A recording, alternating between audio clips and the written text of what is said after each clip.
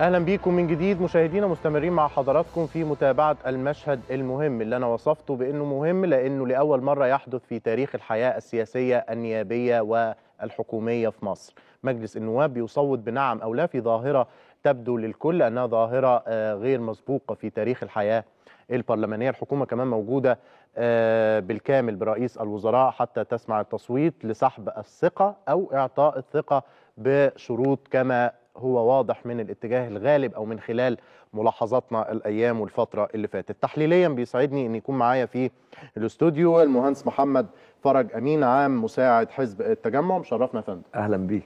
والدكتور ياسر الهضيبي آه، الفقيه الدستوري وعضو الهيئة العليا لحزب الوفد. مشرفنا يا دكتور أهلا يا بحضرتك ازي حضرتك. تحياتنا لحضرتك. باشمهندس النهارده آه، اولا إزاي بتشوف هذا المشهد؟ ومن الناحية الأخرى آه، رؤيتكم إيه؟ للحكومة. نعم. آه، اولا هذا المشهد آه، آه، كل يجب أن نسعى أن ينجح. مم. لأنه زي ما قيل هو أول مرة البرلمان يمارس دوره في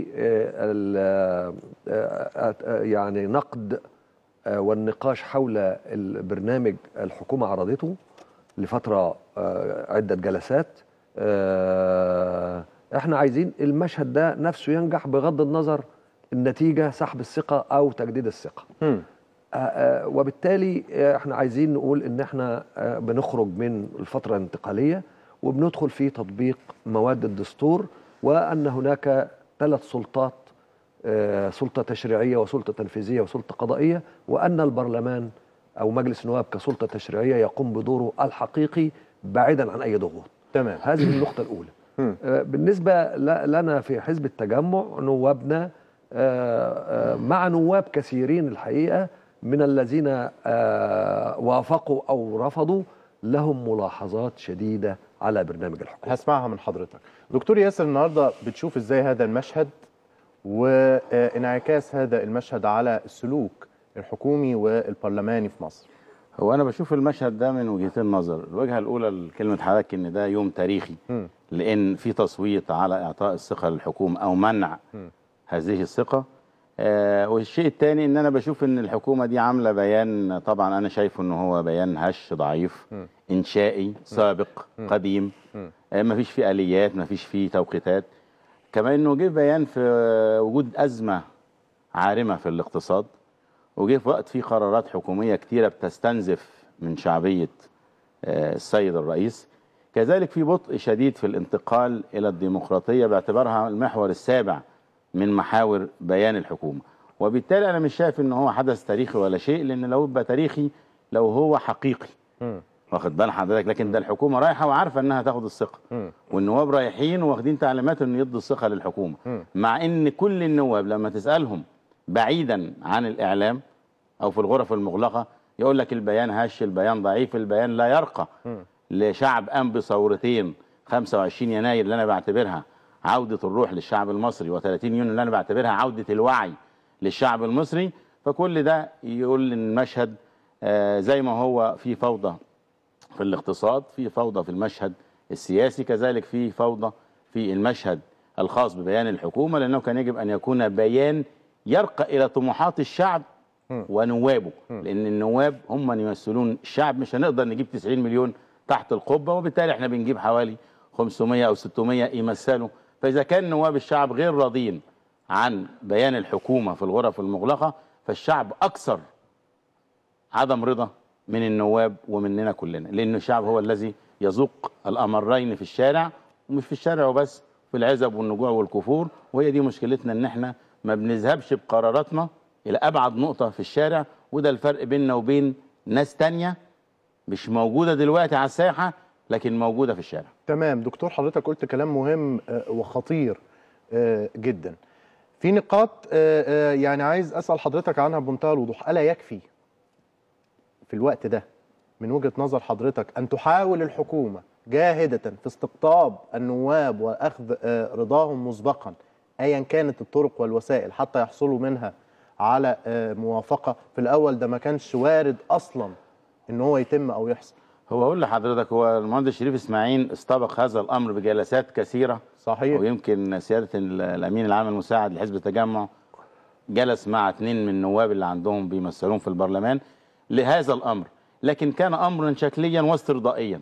إحنا مش في مصلحة. إن أنا أوافق لك على البيان تقوم تديني تأشيرة على طلب والاخر أروح ألاقيها مضروبة. وده جه في. الجرايد.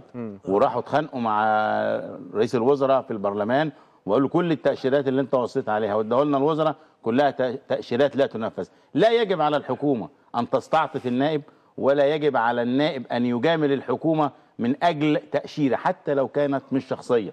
وبالتالي هنا إحنا بنساوم على مصلحة واحدة بس إحنا كده بنساوم كلنا على مصلحة مصر. سواء كانت الحكومة أو البرلمان. وهذا أمر مرفوض وبشدة. تمام. هرجع برضو لحضرتك تاني في تفاصيل أبرز ملاحظات حضرتك على الحكومة وأعضاء آه، الحزب عن التجمع. آه، هذا البيان آه، يعني في كلام سهل يتقال وهو كلام يق- يقوله كل النواب سواء كانوا موافقين في التصويت أو معترضين. وهو أن البيان آه، أو برنامج الحكومة يعني به كثير من ال- العبارات الإنشائية آه، به آه، طموحات آه، لا نعلم كيف تتحقق على أرض الواقع. آليات التنفيذ. ما فيش آليات تنفيذ أو مش واضحة. آه، أيضا آه، بدأ هذا البرنامج بتفزيع النواب وتفزيع الشعب المصري برصده لع- للعديد من التحديات اللي هو الكل عارفها وهي تحديات حقيقية. ولكن ال- البرامج لا تأتي للتفزيع لا تأتي لوضع حلول واقعية. أو استراتيجية وقصيرة وطويلة ومتوسطة المدى لحل هذه التحديات. فهذا ال- البرنامج آه، آه، يعني من حيث الصياغة العامة كان أيضا به عبارات غامضة وبه تعبيرات جديدة لم يألفها لا الاقتصاد المصري ولا أساتذة الاقتصاد ولا أساتذة القانون. يعني مثلا يتحدث عن بدل أن يتحدث عن العدالة الاجتماعية يتحدث عن الحماية الاجتماعية. ها؟ بدلا أن يتحدث عن السوق الاجتماعي.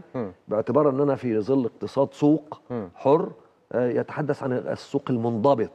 كل هذه التعبيرات جعلت لجان المجلس ونوابه يبع- يبعثون آه، أو في حضور عدد من الوزراء يضعون العديد من الملاحظات حول هذه التعبيرات الحقيقة إن الحكومة برضو لأول مرة لكي تأخذ الثقة ردت على هذه الملاحظات مثلا من عدة أيام. مم. يعني في ما يزيد عن 35 صفحة ردود على آه، يعني إيه سوق منضبط يعني إيه الفرق بين العدالة الاجتماعية والحماية الاجتماعية.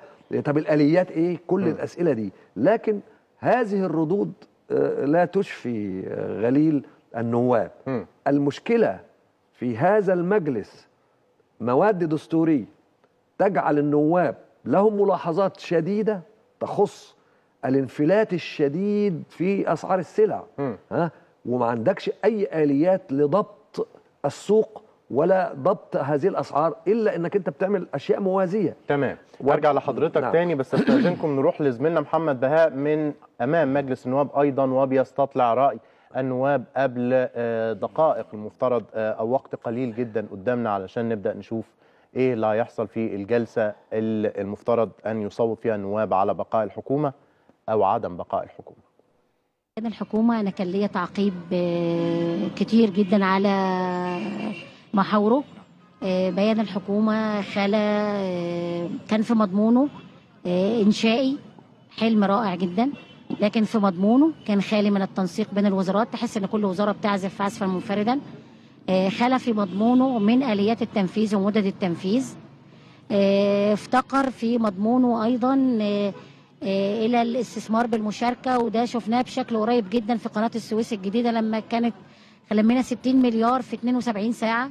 آه، خلى من ال- الابتكار. عندنا تنمية في الموارد البشرية كيفية ننمي خلى من خطة واضحة لإستثمار 93% من مساحه مصر خالية. إحنا 90 مليون عايشين على 7% بس من المساحة. خلى من التعليم الفني. التعليم الفني بتقوم على كاهله آه، دول. إحنا كنا عملنا له وزارة وفجأة اختفت الوزارة وانضمت كجزء من وزارة التربية والتعليم والتعليم الفني. إذا كان تعقيب الحكومة إن هي هتكون جادة في الأخذ بمصداقية في ملاحظاتنا أكيد هقول نعم عشان البلد تمشي طبعا ده اولا وأخيرا. آه، لكن إذا حسيت إن ملاحظاتنا آه، هينأى بها جانبا أكيد هقول لأ. رفضت البيان رغم أنني أنتمي لحزب حماة الوطن وحزب حماة الوطن منذ البداية أعلن الثقة في الحكومة ولكنني كنائب آه، اعترضت على البيان آه، آه، على اعتبار أن البيان آه، تطرق في آه، آه، محتوياته على الخطوط العريضة فقط ولم يتطرق ولم يتحدث عن التفاصيل. الحكومة لم تلزم نفسها بنقاط معينة يحاسبها عليها الشعب ويحاسبها عليها المجلس ف- فأنا رفضت ال- ال- البيان بين الرافضون والمؤيدون لسه أنا. والاتجاه الثالث زي ما قلت موافقون بشروط أو موافقون بملاحظات لسه في محاولة لقراءة المشهد من كل الجوانب المختلفة. دكتور آه، يعني لما أجي أتكلم مع حضرتك كده بمنتهى ال- ال- الصراحة والوضوح إلى أي مدى بتعتقد أن ينجح النواب إن قالوا لا؟ إن قالوا لا في تشكيل حكومة جديدة. هقول لحضرتك إحنا اتكلمنا مع مجموعة كبيرة من النواب هم أصدقاء قال لك إحنا مش هنقول لأ لأن إحنا ما عندناش القدرة على تشكيل حكومة جديدة. ونخشى من حل البرلمان في حالة فشلهم في إعداد حكومة جديدة. ويمكن عشان دي تجربة جديدة وإحنا دايما متأخرين يمكن هم عندهم هذا الوعي. لكن ما فيش مانع وده كان بتعمله حكومات الوفد أيام الملك ما فيش مانع إنه كان يطرح الثقة في الحكومة ويحاول يشكل حكومة ويمكن تبقى أحسن من الحكومة المشكلة. واخد بال حضرتك على الأقل دول نواب الشعب وتم اختيارهم. أما الوزراء لم يختارهم الشعب اختارهم السيد رئيس وبالتالي اختيار الشعب دائما ما أفضل هو الذي جاء بالسيسي وهو الذي قام بالثورتين وهو الذي أقر الدستور. فالشعب هو القائد والمعلم وصاحب السلطة وصاحب السيادة وصاحب السلطة المعتبرة. تمام. لكن إحنا دايما الشعب عندنا كويس لما بيبقى تصويته على هوانا ونقلق من الشعب لما يبقى تصويته على غير هوانا أنا شايف إن الحكومة دي أكبر عيوبها مش موضوع البيان عندها سوء في إدارة الأزمة عندها تباطؤ وتناقض في اتخاذ القرار عندها تدليل متزايد للأغنياء. أتوقف عند الجملة دي آه، أنا أول مرة أحس إن الوفد بيتفق مع التجمع نعم. ايديولوجيا. أنا حاسس إن أنا بكلم اتنين زي بعض. الاثنين اتفقوا آه على الحكومة. بينضم لنا النائب هيثم الحريري على التليفون. برحب بحضرتك سيادة النائب. سيادة النائب. طيب تاني نحاول نتصل بالنائب هيثم الحريري بس عشان نعرف إيه اللي بيحصل جوه آه القاعة. آه دكتور ماذا لو قال النواب آه لا؟ آه. هل في اعتقادك إن البرلمان يقدر يشكل حكومة ولا لا؟ هذه هي الإشكالية الحقيقية مم. اللي خايف منها النواب. آه هذا المجلس تركيبته هي المشكلة مش النواب. آه آه أنا كنت شايف إن تركيبة النواب قبل ساعة ما المجلس ات- اتشكل بال- في الأسبوع الأول آه إنها سمك لبن تمر هندي لكن بعد بعض ال- الوقت عندي أمل في هذا المجلس مم.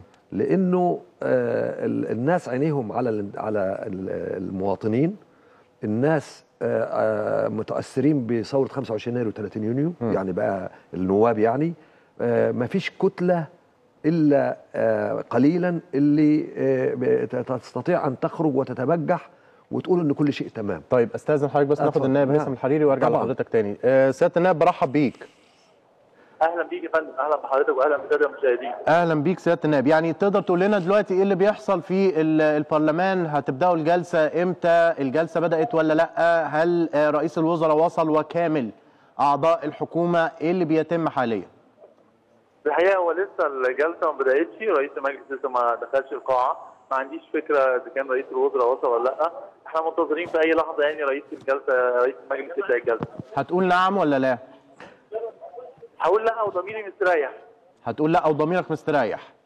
ده صحيح. ليه؟ يعني أنا إذا كنت عندي آه، ثقة إن البرنامج دوت هيطلع بمصر خطوة واحدة لقدام كنت قلت نعم. لكن للأسف إحنا مستمرين في نفس السياسات صندوق النقد والبنك الدولي اللي أفشلت دول كثيره واللي واضح تأثيرها خلال الفترة الأخيرة وسعر الدولار النهارده داخل 11 جنيه. لأن إحنا لسه مصرين على إن إحنا ننحاز لرجال الأعمال والأغنياء على حساب الفقراء. سياستنا الاقتصادية غلط سياستنا الاجتماعية غلط سياستنا الأمنية غلط.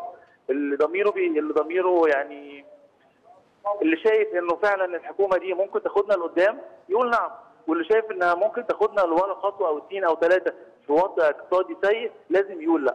تمام. وما أعتقدش إن دوت في أي اساءه لأي حد بالعكس إحنا بنعتبر نفسنا أو أنا بعتبر نفسي ناصح أمين. شايف إن الحكومة مخطئة في حاجات كتيرة بعلن موقفي الخطأ. لأن أنا هتحمل نتيجة دوت أمام الشعب وأمام ربنا.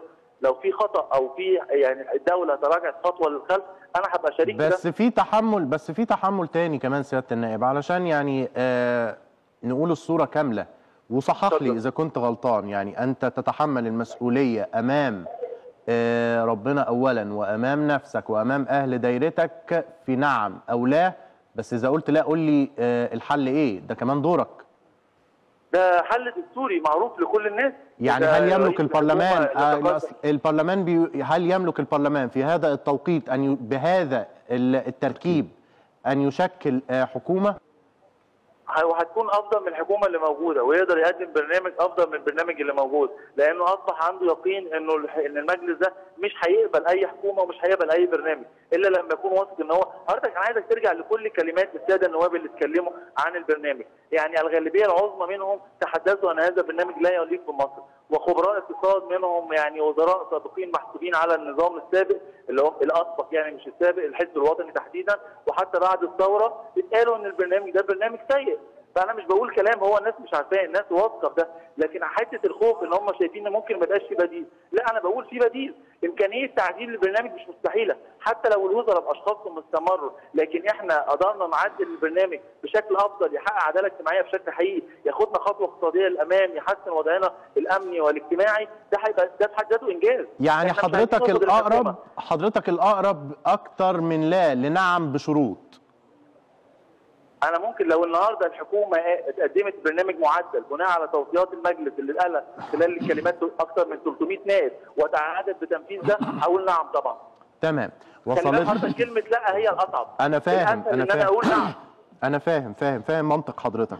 أه بشكرك شكراً. أه أه جزيلا سيادة النائب هيثم الحريري. طيب إحنا لسه لحد دلوقتي رئيس مجلس النواب الدكتور علي عبد العال لم يدخل إلى القاعه ومش معروف لسه آه، الجلسة هتبدأ إمتى وإن كانت التقديرات بتشير إن الجلسة هتبدأ آه، قريبا.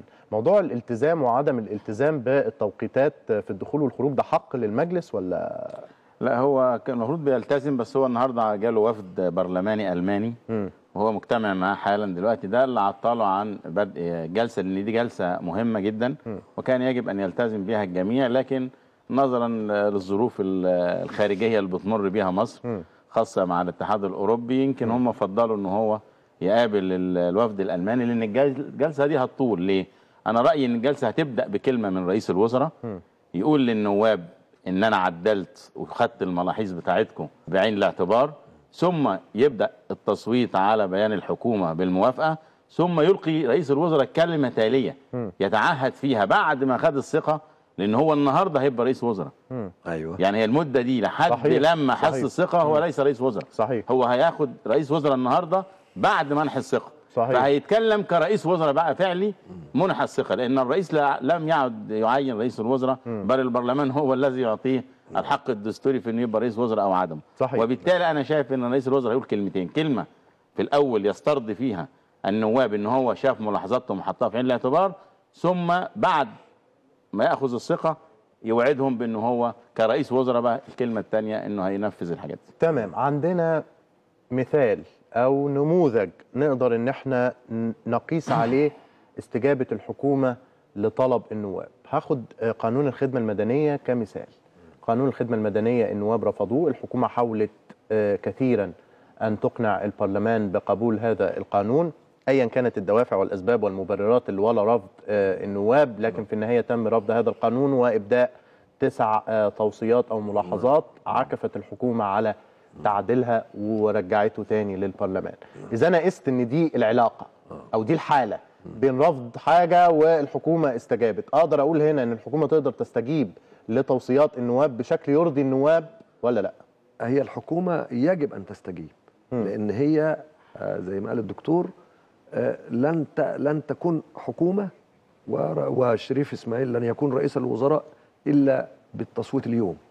وبالتالي آه، خبرة قانون الخدمة المدنية كانت خبرة أولى لأن الحكومة في وقتها لم تستطع أن تدير هذه العملية آه، بذكاء في داخل المجلس. صمم رئيس المجلس وصمم آه، وزير التخطيط على طريقة معينة اقبلوا وبعدين نبقى نشوف. مم. وده فالنواب آه، آه، كان في وضع سياسي ومظاهرات إلى آخره. آه، فكان ال- الأفضل هو كانت النتيجة التي وصل لها النواب أنهم يرفضوا هذا القانون. ليه؟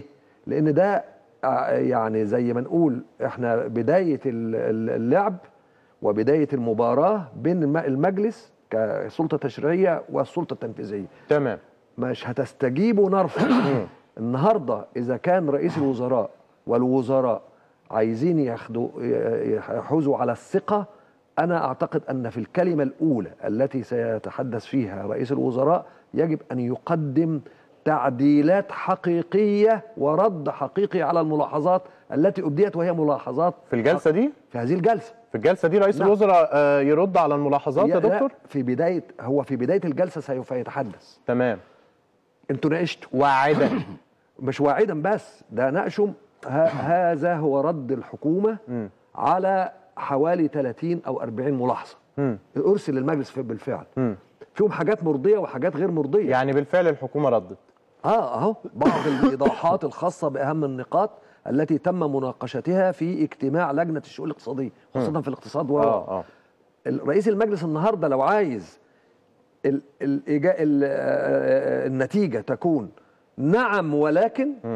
أو نعم بشروط ها ما تبقاش لا آه، حاسمة يقدم آه، إجابات حقيقية على ملاحظات حقيقية قدمها النواب في الاقتصاد في الديمقراطية في موضوع العدالة الاجتماعية في موضوع الدعم هتشيلوه ولا مستمر يعني في الناس قلقانه الناس قلقانه في عملية الإدارة السياسية فيها ارتباك مم. عملية إدارة الأوضاع الاقتصادية وإدارة الدولار وعلاقته بالجنيه فيها ارتباك شديد تمام. وبالتالي لابد من طمأنة المجلس بحيث إن يبقى فيه أنا أتوقع إن ب- آه، إذا فيه النائب هيتكلم تاني هيبقى آه، وهو بيقول نعم بيحط ملاحظات شديدة تقترب من الرفض ممنوع. دكتور هو ممنوع إن النائب يعقب آه، النهارده.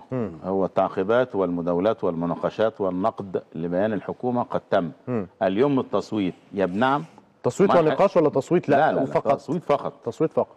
منح الثقة أو عدم منح الثقة. لا يوجد نقاش اليوم. طيب نفس النقطة أنا عايز أخد رأي حضرتك فيها. إذا قست قانون الخدمة المدنية على آه، موضوع ال- ال- الملاحظات اللي عند النواب على بيان الحكومة ككل أو على برنامج الحكومة ككل يرضيك آه، هذا الأمر ولا لا؟ لا أنا موضوع القانون الخدمه المدنية أنا بختلف فيه تماما. أنا كان عايز البرلمان يوافق على قانون الخدمه المدنية. مم. لا أنا ما ما- ماشي. آه. أنا عارف. لكن أنا هو خدها خبرة، آه. إن هو آه هو خدها بنوع إن أنا عايز أعمل حاجتين. أنا قصدي أنا قصدي ايا كانت المبررات والدوافع أنا قصدي صيغة العل... يعني ال- الرفض ورديت عليك بتوصيات وأنت أجبت التوصيات. هو ده. اللي المفروض ينطبق على هذا البرنامج ولا لا لا؟ ينطبق. قانونا لا ينطبق. لا ينطبق. النهارده إحنا في أمر واحد فقط. يا منح الثقة يا عدم منح الثقة. أما التعديلات زي ما قال آه، سيادة الأمين العام المساعد لحزب التجمع إن هم ردوا ملاحظات للنواب أو على ملاحظات ودي اللجنة الاقتصادية وطبعا في التشريعية وغيرها وغيرها. كل هذه رد على توضيحات. يعني يقول له ال- المصطلح الفلاني أنا مش فاهمه يقوم يقول له ده معناه كذا. لأن اللي بيكتب بيان الحكومة أكاديميين تكنوقراط. النائب ممكن يكون خريج زراعة. ملوش دعوه بالقانون فهي مش توضيحات هي أكتر منها آه، إيضاحات إيضاحات. وشرح مفاهيم. لكن التعديل الجوهري في البيان لا يمكن. واخد بال حضرتك؟ وبالتالي إن الحكومة رايحة مستريحة. إنها هتحوز الثقة. وده ما كان أن يجب. مم. عكس قانون الخدمة المدنية قانون الخدمة المدنية في مصلحة مصر على فكرة مم. ما هو ما ينفعش مبنى الإذاعة في يبقى في فيه- في فيه بينتصر. 40000 موظف في رأي بينتصر لده بس كان في مشكلة في قانون الخدمة المدنية. إن هي نفس الفئة المطبق عليها يعني هنا طلعت لنا مشكلة في القصة دي تتعدل مفيش مشكلة لكن ما خدش رفض القانون هينقل مصر نقلة إدارية كبيرة. ويخفض في الموازنة ويقلل من المرتبات وارفضه أصل الشارع أنا حاسس إنه رافض. ده خطأ من النواب. أنا أقول للشعب اللي جابني والدايرة اللي جابني بس أنا اللي ادرى من اليوم ما انتخبت أنا النائب أنا الوكيل. هو ملوش صوت. أنا بقيت صوته. ويراعي ربنا فيه وأنا راعي ربنا فيه ويوم الانتخاب بعد خمس سنين يشوفني كنت مراعي ربنا ولا لا ويجيبني أو ما يجيبنيش. لكن طالما هو وكلني أنا أشوف له هو الصح. ربما بعض الافراد لا يعلمون الصح. أو يذهبون إلى مصالح خاصة. عشان كده ظهر قانون الخدمه المدنيه المفروض أنا نائب وعندي الصورة كاملة إن أنا أقول الصح فيه تمام. استاذنكم نروح لزميلنا كمان محمد بهاء من أمام مجلس النواب بيتابع آراء السادة النواب قبل ما تبدأ الجلسة نعم أو لا ولا نعم بتحفظات. مشاهدينا الكرام مشاهدي عين على البرلمان أهلا ومرحبا بكم من أمام مجلس النواب. أحييكم حيث اليوم جلسة التصديق على بيان الحكومة بيان حكومة الدكتور المهندس شريف إسماعيل. معي النائبة الدكتورة شادية ثابت نائبة دائرة إمبابة ووكيلة مستشفى إمبابة. يعني نطلع منها على تفاصيل أكتر على بيان الحكومة النهارده. يا دكتور يعني ولو أسأل حضرتك يعني هتص- هتصدقي بنعم أو لا في البداية ولو في تحفظات على بيان الحكومة. اولا أنا هصدق بنعم وهدي ثقة للحكومة رغم إن في تحفظات خلى برنامج الحكومة من آه، نقاط كثيرة ولكن أنا هصدق علشان الوقت الحالي. لابد نساعد ونتعاون مع الحكومة رئاسة وحكومة ومجلس نواب والشعب كمان عشان نخرج من الحالة اللي مصر فيها ونخرج آه، ومن عنق الزجاجة اللي إحنا فيها ونحقق الاستقرار. ولكن كلنا كنواب كل واحد قال توصياته. يعني أنا ولكن هيبقى في مراقبة شديدة جدا على الحكومة لأن الشارع انتخبنا وأنا خاصة فرد مستقل امبابة فالشارع انتخبنا ومحتاج مننا الكثير ومحتاج إن إحنا نحض نحقق له بعض طموحاته. فعايزين أدنى حاجة نوريها للشعب لتحقيق ال- ال- الطموحات بتاعته. فمثل خلى بيان الحكومة من الخطة المستقبلية لإدارة الكوارث والأزمات المحتملة محتمل حدوثها. يعني قعدنا نتكلم على صد النهضة كتير وبعدين سكتنا. ما جابش سيرته. طب أنا المية لو نقصت عندي؟ ده أنا عندي شركات جاية من بره لما عرفت الحالة اللي فيها مصر وبقى لها 39 سنة في ألمانيا جت تاخد مياه مياه البحر مش تحليها تطلع منها مية وتطلع منها كهرباء وتطلع منها ملح فإذا آه، نمسك الشركات دي ونتعاون معاها. الحاجة الثانية ننقب على الآبار. ما اجيش أنا أشوف الأزمة والكارثة وبعدين أقول إيه خلاص أزمة. عندي فيروس زيكا اللي جاييني ده فين اللي اتعمل له؟ أنا خطيبة الطب الوقائي. فين الحجر الصحي اللي اتعمل في المطار؟ الناس اللي جايين من جنوب أمريكا عشان أوزع عليهم منشورات. أقول لهم أعراض المرض ده المرض ده لو دخل عندي هيبقى طاعون لمصر لأن القمامه كثيرة والمية الراكدة كثيرة. إزاي التخلص من القمامة؟ إحنا في امبابة على فكرة عملنا منظومة من ال- التخلص من القمامة بقيادة المحافظ بتاع الجيزة كمال الدالي ووزير البيئة والنواب بتوع امبابة الأربعة إن فعلا آه عملنا منظومة ابتدت فعلا من يوم السبت اللي فات لكيفية التخلص من القمامة وتبقى نموذج لمحافظة الجيزة وإن شاء الله لمصر كلها ونتخلص من القمامة تماما. طيب أنا عذرا للمقاطعه بس خلى- يعني يعني آه خلى من خطة لمواجهة الكوارث لو نتكلم في مواضيع أخرى. وفي الصحة. أنا عندي الصحة. دلوقتي أنا كان عندي مستشفيات تكامل منتشرة في جميع أنحاء الجمهورية وكان كانت أعمالها إسماعيل سلام.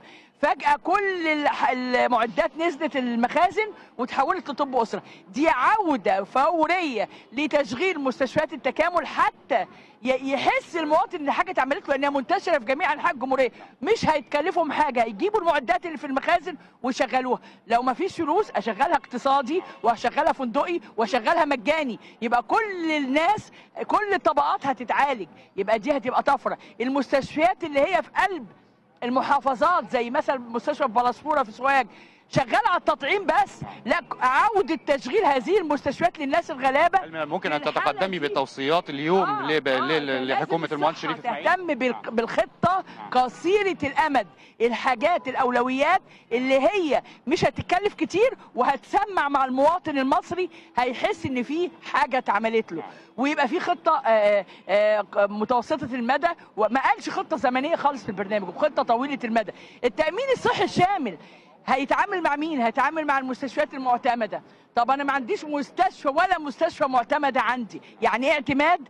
يعني سلامة مهنية؟ يعني جودة؟ يعني مكافحة عدوى؟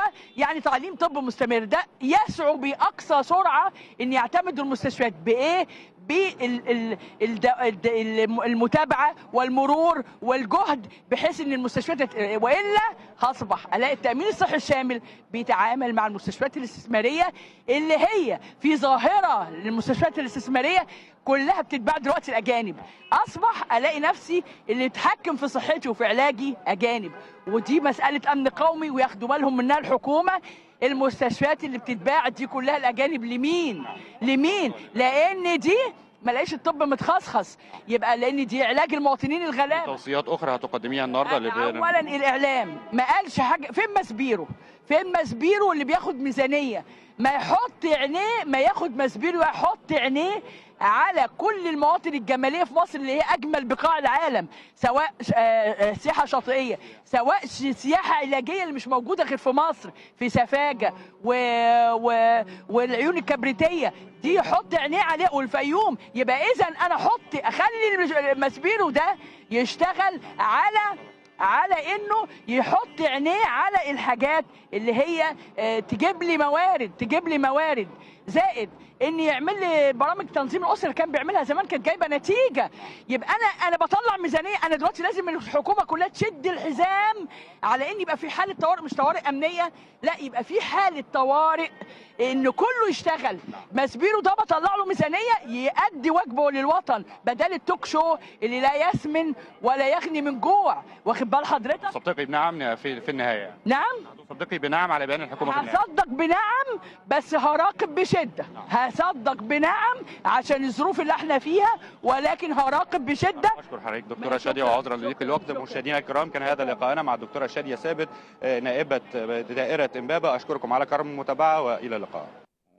طيب ده آه، كان رأي برضو آه، سيادة النائبة. بشكرك محمد بهاب. ينضم لنا النائب مصطفى آه، بكري البرلماني المخضرم والكاتب الصحفي الكبير. أستاذ مصطفى برحب بحضرتك والنهاردة أهلا شريف. بيك تحياتنا. اليوم النهاردة شكله إيه؟ ورايح لفين؟ والله يعني الجلسة لم تبدأ بعد ونحن في انتظار آه، آه، يعني انتهاء مباحثات رئيس المجلس وعدد من الأعضاء مع الوفد الألماني الذي يسور مجلس النواب. آه، الحكومة ستحضر بكاملها اليوم ورئيس الوزراء يتوقع أن يحضر في الثانية ظهرا. ستبدأ الجلسة بالاستماع إلى بعض الزملاء الذين لم يسعفهم الحظ في أن يدلوا بآرائهم في مشروع بيان الحكومة. بعدها آه، سوف يتحدث رئيس الحكومة ليرد على كافة التساؤلات والملاحظات التي طرحها الأعضاء ثم بعد الاستفتاء. وبعد ذلك يوم السبت سترفع الجلسه طبعا بالقطع يوم السبت ستنعقد الجلسه آه، لتوزيع اللجان وإجراء الانتخابات بعد الإعلان عن أسماء آه، أعضاء اللجان المختلفة. ثم آه، بعد ذلك آه، تحصل المجلس على آه، أجازة حوالي أسبوعين. ممتاز. كده خدنا الخريطة كلها. أنا بشكر بشكر حضرتك. شكرا آه، جزيلا سيادة النائب مصطفى بكري. آه، النائب أحمد بدوي أيضا بينضم لنا على التليفون. سيادة النائب برحب بيك. بحضرتك. وتحياتنا تقدر توصف لي المشهد آه، عندك إزاي والاتجاه الغالب إيه في تصويت النواب؟ الحقيقة أنا لسه كنت بحضر دلوقتي لقاء آه، وفد برلمان ألمانيا مع ممتاز يعني حضرت ال- المجلس. حضرت اللقاء آه آه حضرت جزء كبير من اللقاء وهم دلوقتي بقى بينهوا اللقاء مع رئيس المجلس ده لقاء خاص كده مع رئيس المجلس الحقيقة ده شريف تفاصيل اللقاء. أنا كنت متواصل معاك لما كنا في البرلمان الدولي.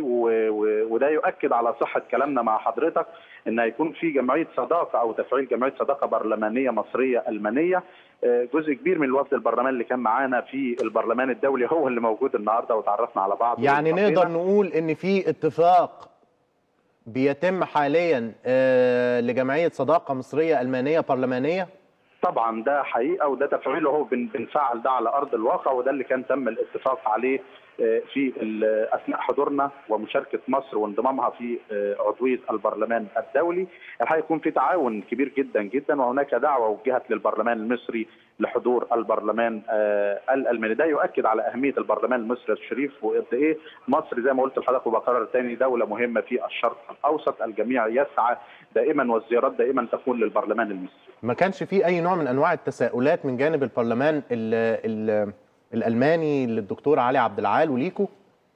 لا طبعا هو طبعا هيكون تفعيل آه، المشاركة في المرحلة المقبلة والاستفادة من الخبرات بين البرلمان المصري والبرلمان الألماني. وطبعا هو أهم شيء هو إنشاء جمعية صداقة البرلمانية الألمانية. إيه فايدتها؟ إيه. فايدتها سيادة النائب؟ إزاي نقدر إحنا نستفيد منها؟ بص الشريف إحنا عندنا للأسف شديد آه، عشان دي تجربة لأول مرة لأول مرة آه، ل- البرلمان المصري يمارس ديمقراطية حقيقية. عشان كده الشيء غريب في الشارع المصري ولدى بعض وسائل الإعلام بعض يقول لك إيه الهرج والمرج اللي بيحدث؟ داخل مجلس ده انت خلال الفترات اللي فاتت أو مجال الشعب اللي فاتت آه، كنت بتلاقي حزب حاكم بيدير ال ال الأمور. هذا الأمر مختلف والتجربة اللي بتتم في مصر أعتقد حاليا في هذا البرلمان برلمان 2015 بتتم في كل ال- البرلمانات. آه، لازم يكون إحنا مفتقدين شيء مهم جدا التعاون ما بين البرلمان والحكومة. ده إحنا مفتقدينه. آه، إحنا نستفيد خبرة كبيرة جدا من خلال زياراتنا وإنشاء وتفعيل جمعية صداقات البرلمانية بيننا وبين الدول الأخرى سواء ألمانيا سواء الصين سواء الدول الأخرى اللي تم الاتفاق عليها على إنشاء مع على إنشاء جمعيات صداقة برلمانية. هنشوف التعاون إزاي وهنستفيد منه. لسه إحنا في أول عام أو في أول دور تشريعي. إن شاء الله ده هنستفيد منه خلال آه، آه، يعني السنوات القادمة بإذن الله. تمام. آه، طبعا أكيد هم كان عندهم فكرة إن النهارده هيحصل آه، آه، تصويت على الحكومة.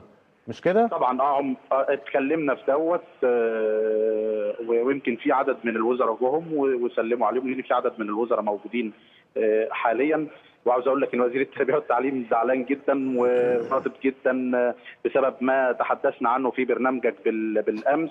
وقال وزير التعليم أحمد بدوي تسرع وتحدث في قناة الحياة بيتحدث مع بعض الزملاء. وهناك وهناك لقاء بعد ساعة هيكون بيني وبين وزير التربية والتعليم لمناقشة مدار مع حضرتك امبارح في قناة الحياة. وإيه وإيه إيه اللي دار يعني يضايق معالي وزير التربية والتعليم؟ إحنا أداة من أدوات ال صحيح ال صحيح. الإظهار لو في نقاط سلبية. أنا مش ضد وزير ومش ضد حكومة ومش ضد حد. أنا بشاور إن كان في سلبية وبتقصى المعلومات في هذا هذا الكلام. ال- صحيح. تحياتنا طبعا سيادة النائب قبل ما معلش. أشكرك قبل ما أشكرك قول لي هتقول لأ ولا نعم ولا نعم بشروط هقول نعم مع التحفظات لسه برضه عند رأيك ما غيرتوش آه طبعا لا طبعا زي ما قلت يمكن لحضرتك تكون غيرت. رأيين. وهنطالب هنطالب أنا طالب كلمة على فكرة هنطالب بان رئيس الوزراء يمثل امام البرلمان كل ست شهور لمراجعة ما تم من إنجازه لما ذكره في البرنامج كتير لأن الشريف. أنا بقول للناس الوزارة مش. هتحاسب ده بيقولوا لك يعني-. ده دلوقتي الدكتور ياسر الهضيبي عضو الهيئة العليا لحزب الوفد والمهندس محمد آه، فرج أمين عام مساعد حزب التجمع مشرفيني هنا في الاستوديو بيقولوا لك كتير ست شهور تحياتي ليهم كتير دكتور ياسر وده حبيب قلبي وس... يعني التحيات اللي كان للأسف مش قدام الشاشة لكن تحياتي ليهم كتير يا أستاذ. شريف. حياتي ليك يا سيادة النائب. بيقولوا لك كتير ست. شهور يا سيادة النائب. عايزين كل ثلاث شهور. خلاص يا فندم هقول كل ثلاث شهور مش ست شهور. استجابه طيب أنا بشكرك. شكرا جزيلا سيادة النائب أحمد بدوي. شكرا آه، جزيلا. طيب هيكون في جمعية صداقة مصرية آه، ألمانية برلمانية معنية بالتعاون في الشأن البرلماني وده بالتأكيد هيكون في شكل كبير من أشكال الاستفادة آه، من الجانبين. هنتابع معاكم آه، مشاهدينا كل مجريات هذه ال- العملية التصويتية بنعم أو لا أو نعم مع تحفظات على بيان الحكومة. حتى اللحظة الكل يا إما بيبدي اعتراضه مش عايز أقول الكل يعني معظم يبدي اعتراضه على البيان أو أو على برنامج الحكومة وآليات تنفيذه بالتحديد أو هنقول نعم بشروط. مستمرين معاكم مشاهدينا في هذه المتابعة بعد هذا الفاصل وضيوفي. ابقوا معنا. من جديد أهلا بحضراتكم. النهارده البرلمان هيقول نعم أو لا للحكومة المصرية أو نعم بشروط أو نعم مع التحفظات زي ما الاتجاه الغالب حتى هذه اللحظة بيقول إحنا مستنيين نشوف الحكومة المصرية رئيس الوزراء آه، لم يصل حتى هذه اللحظة إلى مقر البرلمان. قيل بأن رئيس الوزراء سوف يكون موجود في تمام الثانية. ظهرا ومن بعدها نبدأ في الإجراءات الأول آه، فتح باب نقاش ومن ثم بعد كده التصويت وبعد كده الحكومة آه، ترد في كلمة على تصويت النواب ثم بعد ذلك تباعا في الإجراءات. هنتابع معاكم كل مستجدات آه، الأمور. ضيوفي مشرفيني في استوديو التحليلي الدكتور ياسر الهضيبي عضو الهيئة العليا لحزب الوفد فقيه الدستوري برحب بيك مجددا. آه، المهندس محمد آه، فرج أمين عام مساعد حزب التجمع. برحب بحضرتك آه، يا أهلا مجددا. وسهلا. آه، خلاصة ما سمعته من آراء النواب يبدو كما أنهم آه، بيحافظوا على شكلهم بيحافظوا على صورتهم أمام الدوائر آه، بيخلصوا ضميرهم لكن في النهاية آه، هم ملتزمين بالحركة البراجماتية للعمل تحت قبة البرلمان. توافق ولا لا؟ لا أوافق. آه، يعني آه، آه، كله بيقول أنا هصوت بكذا نعم أو لا إرضاء لضميري. هو أنا أعتقد إن الم- المؤثر الرئيسي على النواب إن هم مدركين إن هم لو قالوا لا بتحفظاتهم دي حولوها إلى سحب الثقة من الحكومة هم عارفين إن هم غير قادرين وده للأسف يعني لتشكيل حكومة بديلة ليه غير قادرين؟ آه، وإمتى يكونوا قادرين؟ آه، تركيبة البرلمان بيبقى فيها مش أكثريات يعني تركيبة البرلمان الحالي فيها أكثريات. آه، لكن ما فيش حزب أو مجموعة أحزاب متحالفة معا تشكل أغلبية مستقرة مم.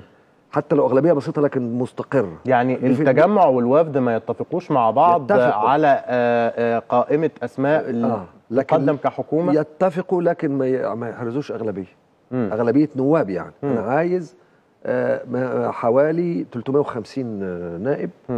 يطلعوا يقولوا لا ونشكل حكومة. يبقوا متفقين من قبلها يعني. آه، في نفس الوقت ال- القلق والفوضى اللي نشأت من منذ ودي وده على فكرة كل ثورات العالم بعدها بينشأ عشان ما نقولش إن ده بسبب حاجة أيوة، أيوة. خاصة أيوة. بمصر يعني. بيبقى في حالة من الفوضى وحالة من الميل نحو الاستقرار. لكن هذا البرنامج ما ما بيأكدش الذهاب إلى الاستقرار ولذلك التحفظات كثيرة. أنا أت- أتمنى آه، يعني لو لو أنا اللي هتصور وهدير هذا آه، التصويت وأقدر أثر على عدد كبير من النواب أن يرفض البرنامج وتنتخب حكومة أو تختار حكومة جديدة ببرنامج جديد لكن بما إن إحنا واقعيين وعارفين الوضع هيبقى شكله إيه أنا أتمنى إن يبقى هذا البرلمان وهو يوافق يعطي درس للحكومة. لا يوافق بدون شروط. برغم إن هو في التصويت هيصوت بس لكن يقول لهذه الحكومة أن هذا البرنامج يحتاج إلى تعديلات جوهرية هم طبعا النواب قالوا هذا. آه، آه، في نفس الوقت إن إن آه، مش بقى أستدعي رئيس الوزراء كل ست شهور لا هذا هذا المجلس يكون أداة رقابة حقيقية يومية لهذا هذه الحكومة حتى لو أعطيناها الثقة تمام. لأسباب لا تخص البرنامج بل تخص أوضاع مرتبكة. تمام نروح على الهواء نشوف زميلنا محمد آه، بهاء على الهواء مباشرة والنائب بدوي عبد اللطيف قبل الدخول للجلسة ورأيه فيما آه، سوف يتم النهاردة أو توقعه مع رأيه لما سوف يتم النهاردة. محمد بهاء أنا برحب بيك والتفاصيل عندك. اتفضل.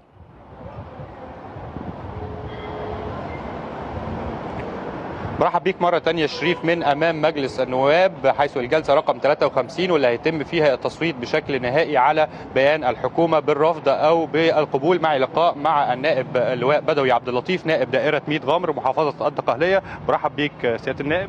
يعني أهلا بيك ومتشكرين لقناة الحياة القناة المعتدلة اللي بتعرض آه، الرأي العام بصورة صادقة وأمينة. فنعم هذه القناة وبئس القنوات التي تضلل الشعب المصري. آه، وإحنا طبعا عارفين الشعب المصري شعب طيب زي ما قال الرئيس لكن هناك بعض القنوات بتضلل الشعب بحاجات كتيرة فلأنها بتحوي عبارة عن طابور خامس وناس مضللين ومش قصدهم الخير لمصر لكن قصدهم يضللوا الشعب. ويعوقوه عن الاستمرار في التقدم بتاعه. إحنا بنحاول طبعا نبذل قصارى جهدنا وإن الصورة كاملة توصل للمشاهد الكريم. يعني خليني أسأل حضرتك على آه، ال- البيان. الحكومة أو قبل ما أسأل حضرتك على البيان هل الجلسة بدأت ولا لسه؟ ويعني ال- والانتظار لحد دلوقتي يعني عندنا معلومات آه، إن الجلسة لم تبدأ بعد. خليني أعرف برضو التفاصيل من حضرتك. هو الجلسة لم تبدأ حتى الآن نظرا لتعطل رئيس المجلس مع وفد وفد أجنبي وده سبب تعطيل الجلسة. وطبعا في كمان حوالي 50 60 نائب ما قالوش رأيهم بالنسبة لبيان الحكومة وعقب الانتهاء من آه، من الأقوال التي سيدلي بها الإخوة الإخوة الأعضاء اللي ما قالوش قبل كده هنبدأ هيبدأ بعد كده بيان الحكومة والحكومة هتحضر تقريبا على الساعة 4 5 كده إن شاء الله عشان تبقى حاضرة أثناء آه، أثناء التصويت من الساده النواب هل هتصدق بالقبول أم بالرفض على بيان الحكومة والسبب؟ أنا هصدق بال... بال... بال... بالموافقة نظرا لإن ال- البرنامج لو إحنا شفناه هنلاقيه برنامج شامل جامع آه، برنامج أتى بكل ما يتعلق بالشعب آه، باحتياجات الشعب المصري. ولكن المهم في التنفيذ لإن آه، الحكومات السابقة عرضت مثل تلك آه، عرضت مثل تلك البيانات ولكن للأسف آه، ما نفذتش.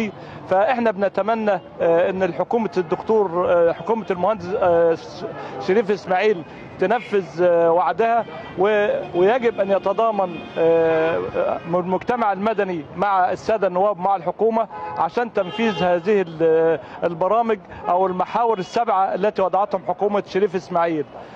دي حاجة. الحاجة التانية إحنا بنتمنى إن مجلس النواب يقوم بدوره وهو اللي هيلزم الحكومة على تنفيذ برنامجها لأن طبعا كما نعلم إن مجلس النواب هو ال- الوحيد اللي بيباشر أعمال الرقابة على على الحكومة وهو اللي بيصدر التشريعات وخاصة التشريعات الاقتصادية وغيرها من التشريعات اللي ممكن توفر عدد كبير من المستثمرين وفي حالة تأخر مجلس النواب عن إصدار هذه التشريعات فسوف تتعطل وسوف لا تكون هناك فرص عمل.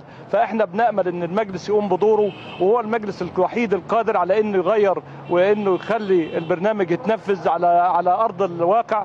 آه، لو اتحد النواب وجعلوا من هذه المنظومة منظومة تبقى تبقى في في في قدر عالي من التنفيذ.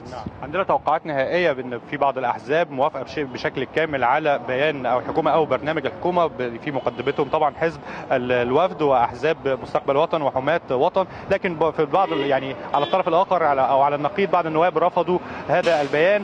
ويعني كان ليهم بعض التوصيات على أساس أن البيان كان يعني لم يحدد مدد زمنية لتنفيذ المشاريع أو آلية تنفيذ هذه المشاريع. هل حضرتك شايف إن يعني في توصيات معينة هتضعوها أمام ال- الحكومة في أو لعرض قبل أو قبل عرض البرنامج؟ أنا هقول لحضرتك إن معظم الأحزاب وافقوا على بيان الحكومة إلا حزب واحد تقريبا هو ال- الحزب الجمهوري الحزب الجمهوري وده يمكن الوحيد اللي ما وافقش على بيان الحكومة ومعظم الأعضاء اللي قاموا آه، عرضوا الرد على بيان الحكومة يمكن وافقوا عليها ما عدا عدد بسيط جدا. آه، ما يعادل 40 50 واحد هم اللي طبعا مش ما وافقوش على برنامج الحكومة. وأنا بقى برى إن زي ما قلت قبل كده إن المجلس هو اللي قادر على تنفيذ ال- البيان. آه، وإن كان هناك بعض الآليات آه، اللي آه، الحكومة ما قامتش بيها آه، إن طبعا آه، ما عرضتش رؤية الرئيس السيسي في عرض 200 مليار جنيه للص- للصناعات الصغيرة ومتناهية الصغر إن البيان أشار إن هناك آه، بعض الخدمات كانت بتؤدى أرخص من سعرها الحقيقي آه، وكان يجب على علشان نعدل الصورة كان يجب إن هذه ال- الخدمات تعرض بسعرها الحقيقي وإن كان هذا أنا بعترض عليه لأن هو مؤشر على زيادة الأسعار في الفترة القادمة. ن- نمرة ثلاثة نمرة ثلاثة بالنسبة للسياحة ان ان انهم إن الحكومة أدرجت آه، أهمية هذه السياحة وجعلتها شيء طبيعي جدا وجعلتها من الأهمية بمكان بحيث آه، كانت الحكومات السابقة كانت عرضتها بصورة هامشية وقالت بتتوقع أن 10 مليون 9 مليون سائح هيكونوا السنة دي و10 مليون سائح هيكونوا ال- السنة القادمة. مما وقالوا إن إحنا هنفتتح آه، أسواق جديدة وربطوا السياحة بالتعليم واهتموا بإنشاء مطارات عشان تأمين تأمين السياح والقرى السياحية. بتحقيق وتنفيذ هذا البرنامج. أنا متفائل جدا بس لو تم تنفيذه على أرض الواقع. وأنا بقول لحضرتك إن مجلس النواب هو القادر إن ينفذ هذا هذا البرنامج وهو القادر إن يغير آه، آه، حاجات كتيرة. بمراقبته للحكومة وبإصدار التشريعات السريعة اللي هتقدر تمكن المواطنين من اتاحة فرص عمل جديدة وهتمكنهم من تواجد قوي على أرض الواقع. يعني في, في, في الأخير التصديق بالقبول على بيان الحكومة لكن النواب عليهم المراقبة أو الرقابة على عمل الحكومة وعمل الوزراء. النواب عليهم دور كبير جدا خاصة إن البيان ما قالش آلية تنفيذ إن ما عرضش بعض المشروعات القومية الكبرى وكان يجب عرض بعض المشروعات القومية الكبرى زي مثلا التعليم محو الأمية عرض التغيير اللي هيطرأ في في مصر على على على, على وزارة الصحة وعرض برنامج عشان نعالج بيه فيروس سي وعرض برامج خاصة بالمنظومة الصحية الخاصة بالقرى زي ما تبدأ من المستشفيات المركزية وحتى الوحدات الصحية أو حتى أي حاجة تتعلق بالمواطن عشان نرفع من مستوى الصحي بتاعه. أنا بشكر حضرتك بسيادة النائب. أنا تحت أمرك. شكرين شريف ده كان لقائنا مع النائب اللواء بدوي عبد اللطيف نائب دائرة ميت غمر بمحافظة الدقاليه خليني أقول لك حتى الآن الجلسة لم تبدأ بعد. يعني هذا كل ما هو مع هذا كل ما هو عندي من أمام مجلس النواب. وعوده مرة أخرى إليك في الاستوديو. شكرا ليك شكرا ليك محمد بهاء وشكرا لكل التفاصيل. يعني اللي بيجي لي على التليفون الحقيقة من كلام السادة النواب مهم كمان إن أنا أقوله. اللي اتبعت لي وقريته كثيرا من الآراء من السادة النواب متضايقين إن الجلسة هتكون مسجلة. طبعا دي مش أول مرة إحنا نفتح موضوع المسجل وعلى الهوا وعلى الهوا ولا مسجل. دي قصة محتاجة لإعادة نظر بهدوء مع المجلس ككل كفكر وكمعتقد وكأسلوب أداء في هذا الأمر. كمان كمان اللي اتأكدت منه إن الموضوع هيكون إلكتروني مش لأن حضرتك سألتني سياده النائب فأنا على طول بعت أسأل التصويت هيكون إلكتروني. ده كويس ولا لأ؟ هقول لحضرتك هو دايما بيان الحكومة طبعا من المواقف الهامة جدا. اللي يهم أبناء الدائرة يعرفوا النائب بتاعهم صوت بنعم أم بلا. وبالتالي التصويت الإلكتروني بيحجب هذه المعرفة. وإحنا قلنا حق المعرفة ده حق دستوري مقدم عن أي الحقوق الأخرى. لكن اللي أنا شايفه نظرا لمفاجأة الوفد الالماني لزيارة البرلمان وتأخير الجلسة إلى هذا المدى الطويل كما إن في خطأ إن في 50 نائب عايزين يتكلموا تاني النهارده ما ابدوش رأيهم قبل كده. يعني يبقى آه مفيش حل غير التصويت الإلكتروني آه لإنهاء الأزمة. خاصه زي ما أنا قلت لحضرتك إن أنا عندي علم وسيادتك ومحمد بيه وكل الناس إن في موافقة. واخد بالك؟ هي المفاجأة كان يبقى في ما تعرفش إيه اللي هيحصل. إيه رأي حضرتك في إذاعة أو عدم إذاعة آه الجلسات على الهواء. هقول لحضرتك هو النواب نفسهم لو سألتهم بيفضلوا الإذاعة. للشهرة ويعمل باي باي للمدام في البيت والحاجات اللي إحنا شفناها دي كلها. تمام. لكن نظرا لعدم خبرة أغلب النواب. أحدثوا أخطاء جمه في الإذاعة الجلسات الأولى. أدت إلى سخط عام من الشعب المصري على البرلمان. فهم تداركوا هذا الأمر بحجب ظهور النواب على يعني حضرتك الشاشة. مع هذا الرأي لا أنا مع أنا بقول لك ليه بس إذا قلت لحضرتك إن هم بيقولوا ده الحكومة هي اللي بتطلب لأ. بتطلب إيه؟ بتطلب إن الإذاعة ما تكونش على الهواء أي ما هو الحكومة بتطلب الاذاعه ما تكونش على الهواء عشان مش الحكومة إحنا عايزينها هوا ما عندناش مشكلة. لا لا لا هم عشان الحكومة خايفة على البرلمان. ما هي مؤسسات الدولة بتحافظ على بعض. وده شيء دستوري برضه مش طيب يا فندم رأيك إيه؟ لا أنا يعني طبعا أنا عارف الدكتور بيتكلم على السبب اللي خلاهم ما يذاعوش لكن رأينا إن هو يبقى مذاع. ليه؟ آه صحي أكتر. صحي والشعب يبقى عارف والإعلام يبقى عارف. م. مش عمالين إحنا بن بنضرب أخماس في اسداس عشان نعرف إيه اللي بيحصل. آه وناخد على التليفونات آه معلومات وعلى آه. التليفونات ما يبقى الموضوع لا يبقى قدام الناس و... وبعدين ال ال الانفلات الإعلامي بمعنى في في, في البرلمان بقى مش الانفلات الإعلامي في آه. القنوات م. اللي هو الناس عايزين يظهروا اعلاميا يعني. حلوا بالإذاعة. يعني هو بعد فترة هيكتشف إن هو صورته وحشة. آه وإن هو يجب إنه يبقى منضبط منضبط أكتر ويتكلم. إذا كان عنده جملة عايز يقولها يقولها. م. بدل إيه الوضع اللي فعلا في بداية الجلسات. يعني كان الناس بقت صورة البرلمان آه كارثية. آه يسموه إيه سيرك. آه ف نمرة اتنين في موضوع التصويت الإلكتروني. طبعا آه النواب آه يعني وقفوا وقالوا آرائهم في فترة سابقة. بس هو المشكلة إنه ما كانش مذاع. آه لو كان برضو مذاع كان يبقى النواب قالوا رأيهم ونيجي في التصويت الإلكتروني عشان الوقت. لكن آه لو لو التصويت مثلا بعد ال- الفوضى اللي موجود دلوقتي وقلنا بمثلا بنائب نائب ب- ب- آه، بالنداء يعني النداء على النائب ويقوم ده بيتهيألي آه، كان لنا تجربة سابقة في اللي هي ضرورية ودستورية. في القسم أظن قعدنا عدة أيام. آه، فهو التصويت الإلكتروني آه، بس على الله إن الجهاز الأجهزة الإلكترونية ما يكونش فيها مشكلة ويحصل آه، إنها تتوقف أو حاجة. تمام. نعم. تيران وصنافير والجدل الدائم الكبير بشأن آه، جزيرة تيران وصنافير. الحقيقة أن الكثير من الآراء بتقول أن الجزيرتين سعوديتين. وعليهم سيادة مصرية. وأيضا الكثير من الآراء بتقول لا الجزيرتين مصريتين. وكل رأي من الآراء بيستند على آه، مجموعة من الحجج والبراهين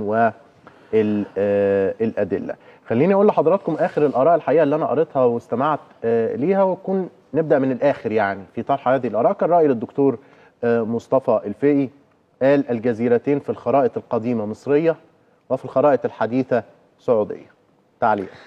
هقول لحضرتك أنا شايف هذه المشكلة إنها مشكلة في سوء الإدارة. مم. إحنا عندنا سوء إخراج. إدارة الأزمة. أيوة. عندنا سوء في إدارة الأزمة. يعني المفروض تبقى في إدارة لحل الأزمات إحنا عندنا سوء في إدارة حل الأزمات. لأن الموضوع ده بغض النظر عن الملكية لمين. ليه؟ لأن أنا برضو مستغرب إن الأول مرة في التاريخ دولة تقدم الحجج والبراهين والمواثيق على إن أرض تحت سيادتها ملك لدولة تانية. ده صحيح. عمرها ما حصلت. مم. أنا ما شفتش السعودية قالت إنها الجزيرتين بتوعنا. مم. أنا شايف كل الآراء المصرية سواء من الحكومة أو آراء نحترمها سواء كانت هنا أو هنا هي اللي بتقول إن الجزيرتين سعوديتين. مم. فيبقى دول ملاحظتين مهمتين بعيدا عن الملكية تقع لمن. النقطة الثانية بس يبدو إن الجانب السعودي طلب. طلب بشكل آه، يا فندم، رسمي ما- أن. يتم آه، ال- آه، ترسيم الحدود. ترسيم الحدود. واتفاقية 1990 اللي تم توقيعها. طيب مع- عايزين 1990 يطبقوها. لما قالوا على ان مبارك طلع قرار لما إحنا سألنا قالوا ده مش قرار ده هو قرار بالموافقة على ترسيم الحدود. مش قرار بالموافقة على إعطائهم الجزيرتين. مم. ده اللي سمعناه. طب أنت عمال تقول اللي سمعت وأنا عمال أقول لك اللي سمعت بالظبط كلنا ما عمالين هو نقول ده بقى سمعناه. سوء إدارة إدارة، نعم. الإيه؟ الأزمات. لو أنا بقول إن سوء إدارة ليه؟ بغض النظر عن الملكية تقع لمين؟ سوء إدارة لأن لو هذا الوضع وهم الجزيرتين سعوديتين لو الوضع ده شرح للشعب قبلها بأسبوع قبل زيارة الملك أو قبل شهر أو شهرين ما كان قد حدث ما حدث. ليه؟ لأن أنا النهارده ما أقدرش أقول النهارده ما أقدرش أقول دلوقتي إن قناة الحياة ملك للتلفزيون المصري. كل العاملين في قناة الحياة يقول لك إزاي وإمتى. لكن لو أنا من شهر المحت وقلت إن في مستند كذا وفي بيع كذا وفي عقد كذا وفي بتاع. لما أجي النهارده أقول ملك يقول لك ما إحنا عارفين. هي دي كانت المشكلة. واخد بال حضرتك؟ أو إن القناة مطروحة. مثلا يبقى لكذا فإحنا أنا هذا بدأ- الأمر فيه بدأ- كلام آه. يبقى فيه مشكلة. مم. يبقى دي المشكلة الثانية يبقى سوء الإدارة سوء التوقيت سوء العرض. مم. المشكلة الثالثه بقى هل هي فعلا ملك السعودية ولا ملك مصر؟ أنا أتحداك إن كان أحد يعلم. صحيح كل واحد بقى؟ عنده مجموعة إذا كان الآراء المصرية نفسها سيبك من السعودية خالص. السعودية دولة شقيقة وأنا مع القومية العربية على فكرة مم. أنا مصرية سعودية هي بتاعتنا مم. هم أهلنا وإحنا أهلهم. لأن إحنا قدامنا عدو واحد وده قناعاتي اللي هو إسرائيل وأمريكا. ما عدا ذلك كلنا أهل أنا بقول لحضرتك المشكلة الثالثه إن لا أحد يعلم على وجه اليقين ملكيتها هنا أم هنا لكن عملت أزمة كبيرة ولعلمك تم وضع البرلمان في مأزق أصعب من مأزق قانون الخدمة المدنية. لأن السيد الرئيس في كلمته مع فئات المجتمع المختلفة قال إن هيتم عرض هذه المشكلة على البرلمان. هي المادة 151 من الدستور بتقول كده. بتقول إن المعاهدات يوقعها الرئيس ويعقدها بعد أخذ رأي البرلمان. الجزئية الثانية من المادة بتقول أما في حالات السيادة يجب عرضها على الشعب. فهل هي هتعرض على البرلمان زي ما قال ولا على استفتاء أنا رأيي الدستوري إنها محتاجة استفتاء لأنها عمل من أعمال السيادة الذي يعرض على الشعب. هم رأيهم اللي هم المستشارين الرئيس إن بيقول لك لأ ما هي السيادة هي إدارة.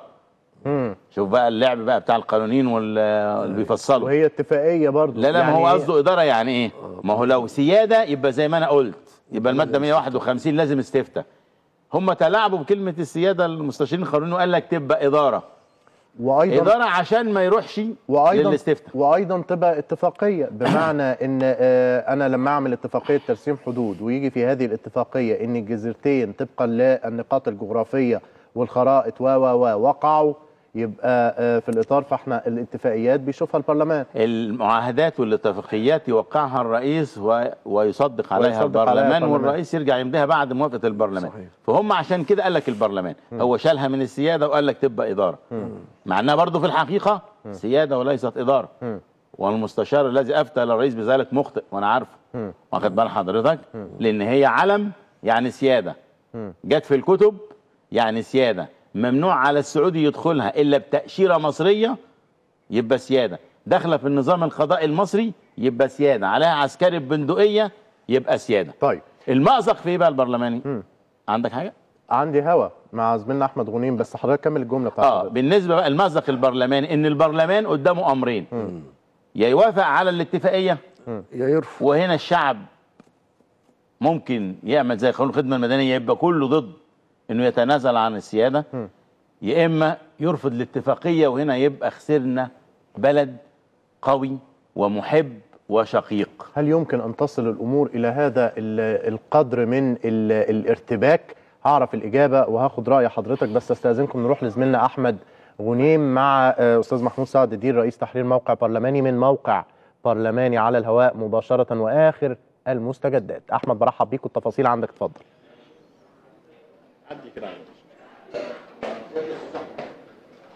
برحب بك يا شريف. ما زلنا في متابعة حية لمناقشة أو التصويت على بيان الحكومة من داخل مجلس النواب. وربما متابعة وسائل الإعلام لهذا الحدث. ومعي الآن الأستاذ محمود إذا كما ذكرت أستاذ محمود آه، عايز أعرف لحد الآن الأمور وصلت لحد فين؟ وعايز أعرف الجلسة بدأت ولا لا؟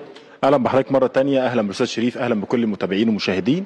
عايز أقول لحضرتك إنه منذ دقائق بال- بالتمام والكمال بدأت جلسة الجلسة النهائية لمناقشة بيان الحكومة والتصويت عليها ومن ثم منح الثقة لحكومة المهندس شريف إسماعيل.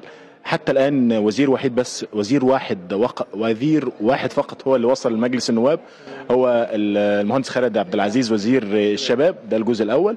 إضافة أيضا إلى ال- المستشار مجدي العجاتي ده وزير شؤون الشؤون القانونية ومجلس النواب. دول الوزيرين حاليا المتواجدين في قاعة البرلمان مع بداية الجلسة أعتقد الوزراء التانيين في.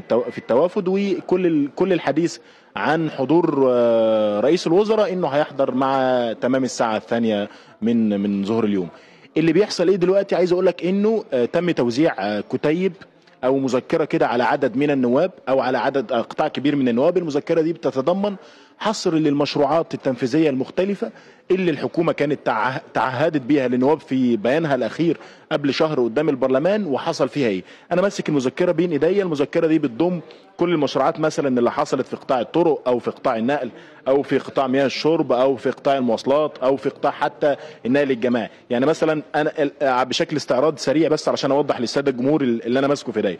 مثلا موقف مشروعات مياه الشرب في محافظة الجيزة فكاتبين إنه شركة مياه الشرب لتغذية قرية المنصورية وفي شركة مياه الشرب لتغذية قرية دينار وشركة مياه الشرب لقريه بر- برك الخيام وعزبة العسيلي.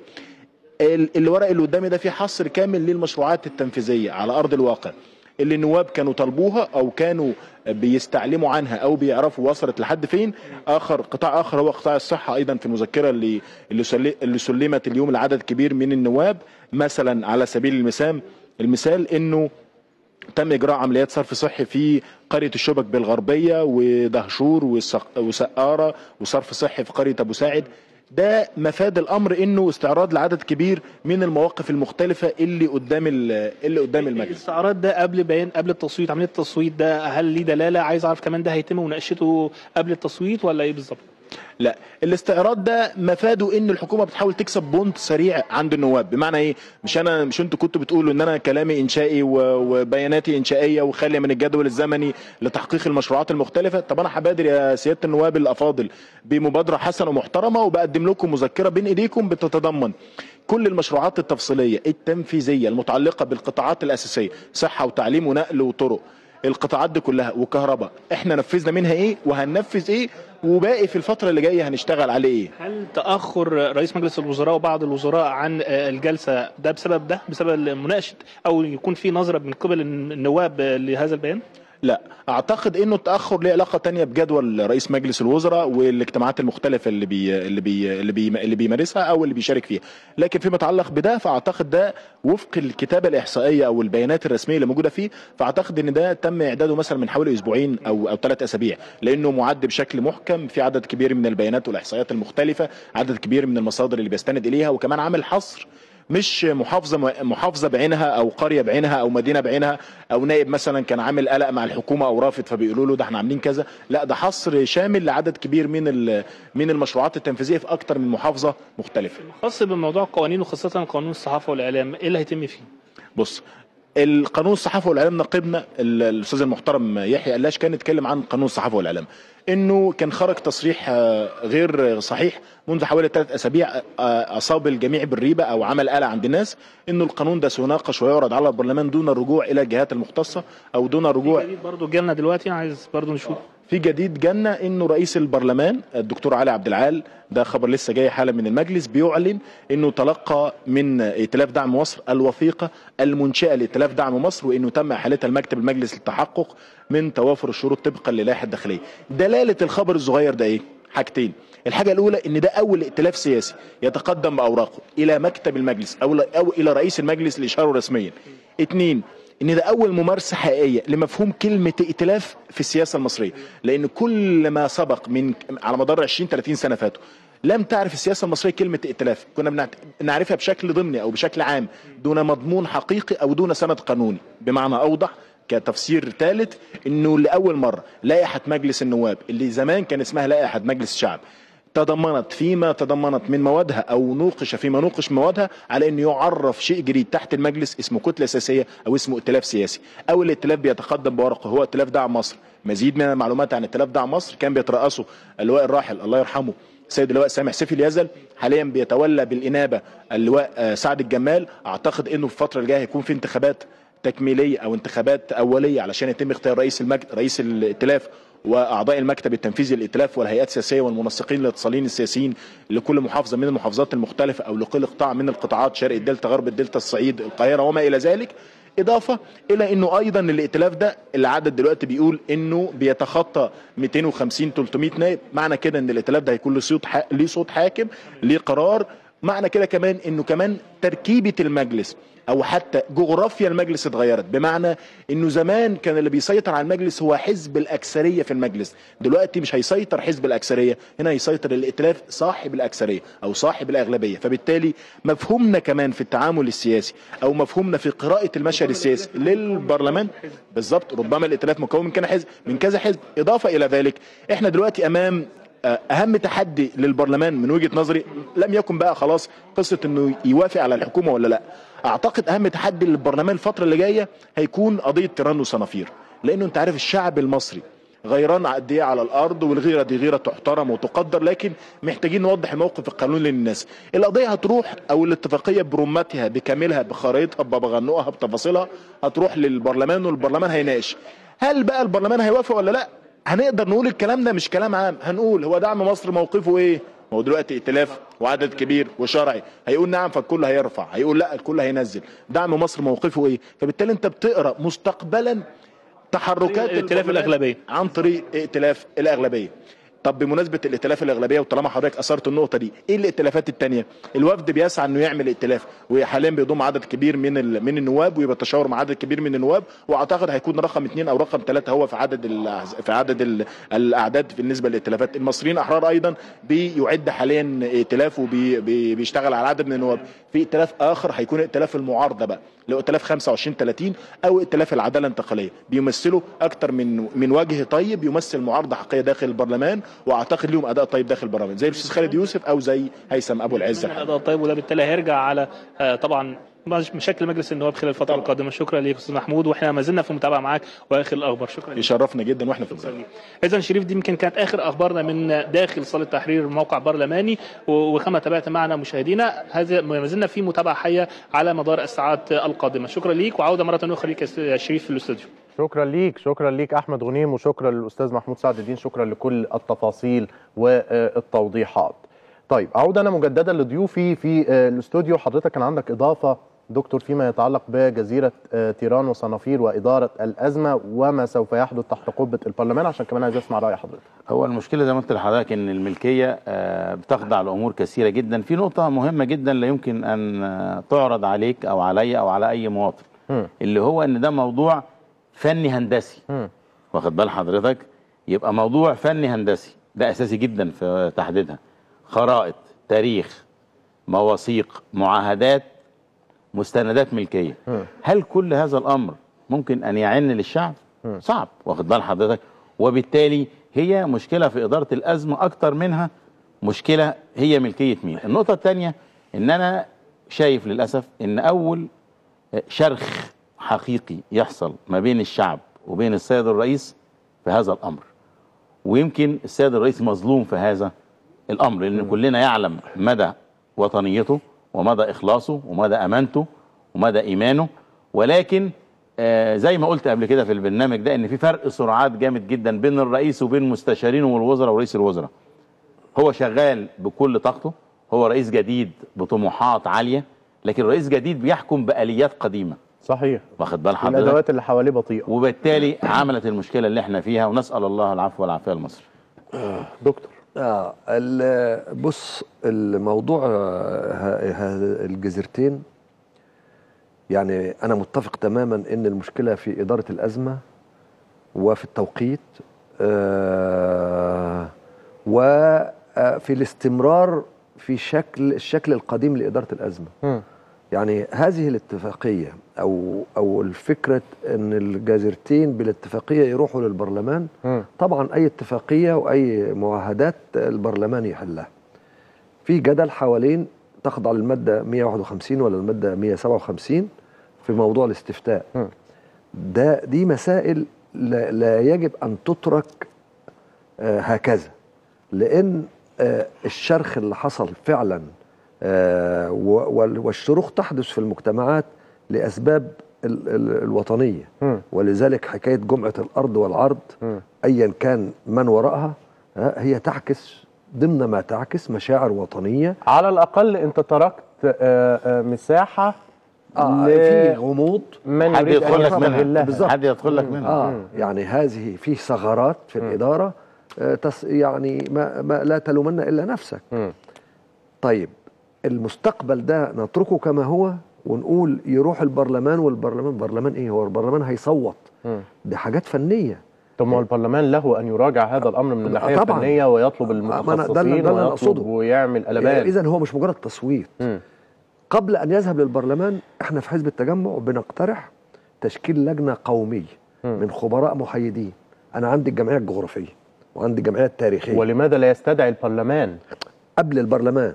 ويستدعي البرلمان قبل البرلمان أنا عايز أروح مستريح بس البرلمان هو رايح البرلمان رايح وفقا للماده 151 هو من. الدستور. آه. مش بمزاجه مش بمزاجه. إجباري. هو رايح طب رايح. هو قصده إيه؟ إن هو جمعية أو لجنة أنا من متخصصة دلوقتي. أو زي ما قال البرادعي أنا من دلوقتي عايز آه، أشكل- لجنه تقصي آه حقائق. أنا من دلوقتي زي لجنة قص حقائق أنا بسميها لجنة قومية محايدة من خبراء محايدين ليه الذي يقول انهما مصريتان ومعاه وثائق واللي بيقول إن هما سعوديتان معاه وثائق والخرائط موجودة لكن هو ال- المجهول في هذا الموضوع ده كله إيه؟ لأول مرة يحدث ترسيم للحدود البحرية بين مصر وكل الدول بين السعودية وكل الدول. موضوع ترسيم ال- الحدود البحرية ده حديث. كل الكتب وكل المعاهدات القديمة في ترسيم الحدود كانت ترسيم حدود برية. الحاجات اللي إحنا اعتمدنا عليها بالنسبة لطابة وغيرها. الجزيرتين دول في كتب بتقول إن هم يعني في كتاب اسمه آه، طلع 1906 آه، حوالين ترسيم الحدود البريه الباب العالي. معاهدة الباب العالي بين العثمانيين. ما كانش في السعودية. كانت الحجاز الحجاز السعودية نشأت 32 33 طب الجزيرتين دول مذكورين في هذا الكتاب باعتبارهم بنتكلم على سينا سينا آه، جغرافيتها وتاريخها وجذورها. فمن ضمن الجزر موجودين. طيب ده آه، من الممكن يبقى دليل على إن هم مصريتين. الرس... الوثائق اللي موجودة إيه حتى الآن؟ رسائل متبادلة. رسائل سنة 1950 رسائل آه، آه، آه، 82 يبقى أقرب حاجة زي ما قال الدكتور مصطفى الفقي هي في الخرائط القديمة وفي المواثيق القديمة لا لا دي آه، بقى مصرية لا لا لا لا الحديثه صح. سعودية. ما فيش. مم. أنا مش عارف الدكتور مصطفى الفقي قال هذا الكلام على أي أساس. الخ... أنا عندي أطلس سنة 69 مم. ها؟ الجزيرتين موجودين. طب بماذا ما تفسر؟ بيتقالوش عليهم أنا مصريين للأسف ولا ما بقاش. عندي وقت علشان آه. أط... يعني أستطرد أكتر في الموضوع. أنا خلص وقتي و آه، الموضوع مطروح للنقاش بس مطروح بس للنقاش. النقطة دي عايزين ان إن إحنا لجنة قومية لا قبل هو موضوع ده الحل على أساس أنا ما ما اولا ما لا يحسمها العواطف ولا تتركها للمجلس فتضر بالمجلس. وتضر بالدولة هو ده اللي أنا خايف منه إنها آه. تصدر مشكلة كبيرة ومأزق كبير ولا تنفتح أيضا في هذا. آه ولا وفي رأي تاني إنك يعني آه إن أردت أن تدرس هذا الموضوع ادرسه. في أطره في ويا- وياخد علشان وقته. آه آه الآراء اللي هي التي قد تكون مندسة اللي بتحاول إن هي تثير. أزمات. فعندما السودان بعتوا قالوا عايزين حلايب وشلاتين. فالموضوع اللي عايز يلعب يلعب. نعم. إحنا دلوقتي في جلسة آه، الحكومة ومستنيين نشوف الحكومة هيتقال لها لأ ولا هيتقال لها نعم. هو في الغالب نعم مع تحفظات أو نعم مع ملاحظات. هنشوف كيف يكون رد فعل الحكومة ازاء تصويت النواب النهارده. وردود أفعال النواب في جلسة التصويت يمكن تحصل مفاجآت نعم. غير متوقعة يبقى دائما آه، آه، هناك هامش للمفاجآت من قبل البرلمان المصري لا أنا توجد مفاجآت يا أستاذ شريف. متأكد ما يمكن تطلع أنا أتمنى أن تكون هناك مفاجاه لا توجد حتى مفاجآت. حتى وإن كانت النسب آه، ربما ت- آه، آه تثير يعني, يعني يبقى في آه، أعداد اندهاش. كبيرة من الرافضين بس مش أغلبية بس صحيح تم التمرير وإعطاء الثقة لكن ربما تفاجأ ب- ب- بكمية لا مثلا. أتمنى ألا يقل الذين يقولون لا. يعني دي الحاجة الوحيدة دلوقتي اللي أنتوا اختلفتوا فيها ما أنتوا طول الوقت. متفقين ده ده أنا تم- أصل دي أمنيات. ده أنا هطلع من التغطية دي مسميه وفد التجمع أيوه يعني. طبعا. هو تجمع الوفد. أو تجمع الوفد. نعم. بشكركم شكرا جزيلا. شرفتنا يا دكتور شرفتنا يا دكتور ياسر الهضيبي. عضو الهيئة العليا لحزب آه، الوفد. شرفتنا يا دكتور. شكرا. شرفتنا باشمهندس محمد آه، فرج أمين عام مساعد حزب التجمع.